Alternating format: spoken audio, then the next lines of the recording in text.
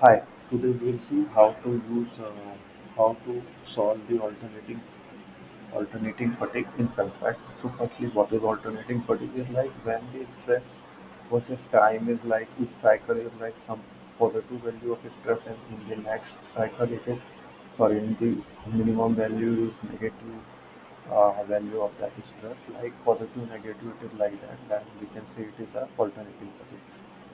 Alternating cycle fatigue cycle so we need to calculate the life and then I have solved like just two load cases. Uh, one I am fixing it here and this is both steel material and fixing it here here I am pushing this and here I am pulling this. So and also this will scale to 50 to show you the animation the stresses are of the level of 800 MPa as I am using uh, uh, I am using linear material properties and why the stress is same as I am using Mises stress so Mises stress is always positive. So I'm getting all of this is tensile in nature and this is compressive in nature. Okay. So I'm using this session and then I am using here this files. So firstly I will use this load this IMP file. So it has having node element called 1000 and groups as it is a single component you can just define on uh, stress data.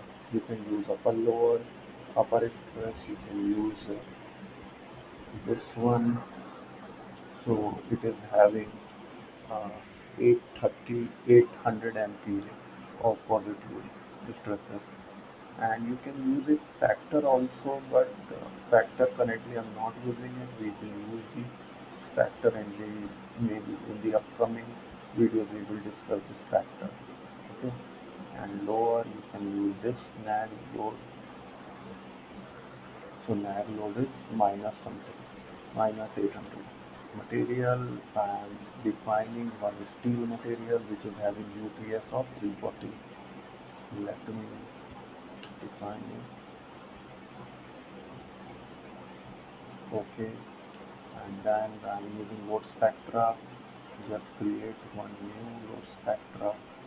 Just I want to run it for one cycle and see uh, run it for one cycle and see how many cycles it will undergo for the damage for the crack initiation characteristics just put all and I am defining this steel and I am as it is a machine component so I am defining a smooth 60 micrometers.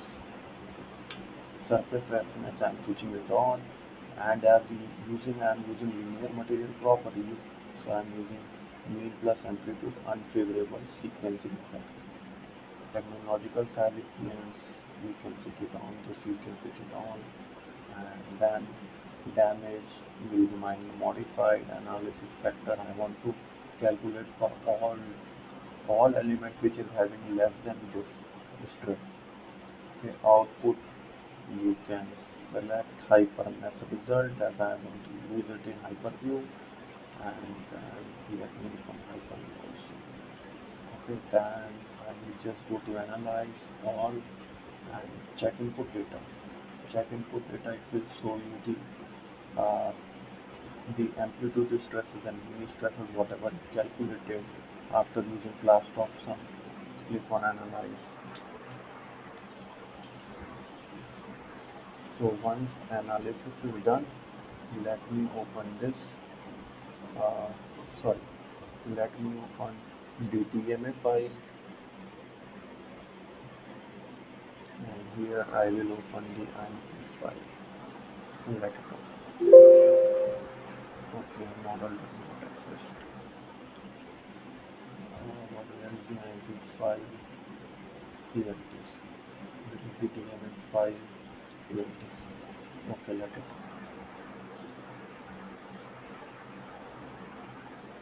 Okay so we will plot this.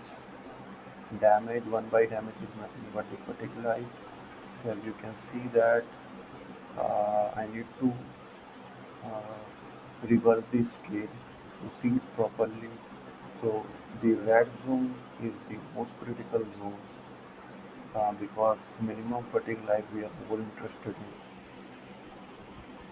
you can use this dynamic tool and you can see that uh, I will go to scientific now. Yeah, so minimum cycles I'm getting is this node it is 4.23 uh, into 10 power 4 which is nothing but uh, 42,300 yes.